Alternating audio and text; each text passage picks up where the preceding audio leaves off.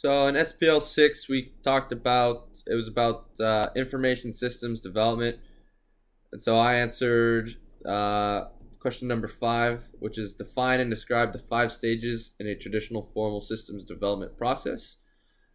Uh, and so that process begins with the first stage of planning, and in this stage, you have to identify problems uh, that you want to solve, and you do this by like defining the goals and objectives that you want, and then you also conduct uh, feasibility studies.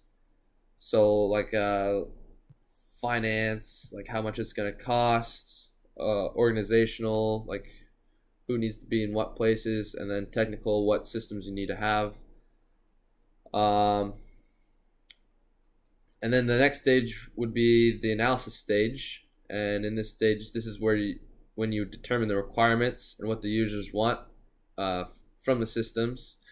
And an example of this would be like the requirements for inside Pacific system.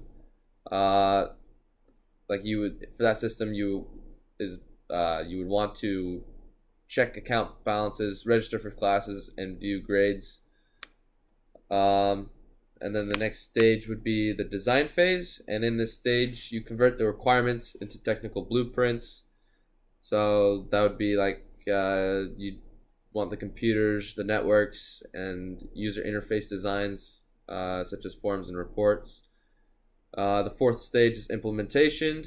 So, based on the designs, you would build or acquire hardware or software. You would install software, integrate the system, train users, and test the system. And then finally, the final stage is uh, maintenance. And so, this is like when your your product is is uh, released and you have to continue to maintain uh, your system so it stays up to date with security issues or if there's any bugs in the program you can fix it uh, then and there